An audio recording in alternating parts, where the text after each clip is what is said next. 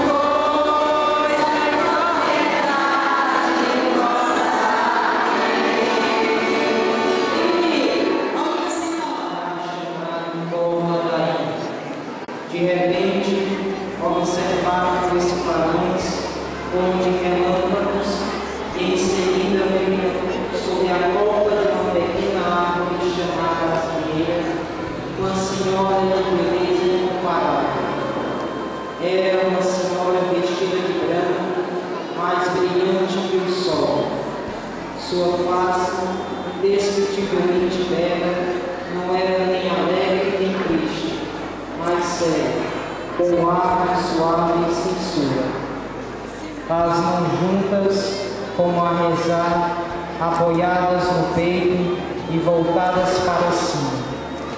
Na sua mão direita pendia um rosário. A túnica e o manto eram brancos, com bordas douradas, que cobria a cabeça da Virgem Maria lhe descia até os pés. Lúcia jamais conseguiu descrever perfeitamente os traços dessa fisionomia tão brilhante. Com voz maternal e suave, Nossa Senhora tranquilizava as crianças, dizendo: Não tenhais medo, eu não vos farei mal. Ao aproximar estas últimas palavras, Nossa Senhora abriu as mãos e delas saía uma intensa luz.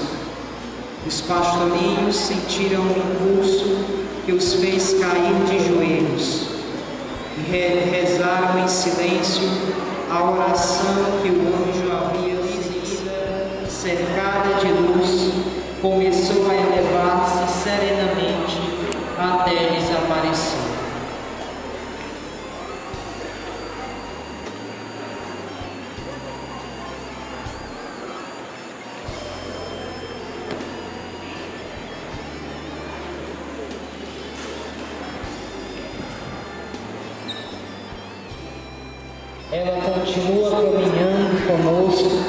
Dedicando a mesma atenção para cada um de seus filhos.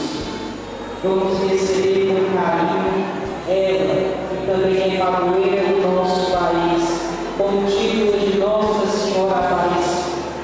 Pedimos neste dia especial que Nossa Senhora interceda nosso Brasil por governantes e por.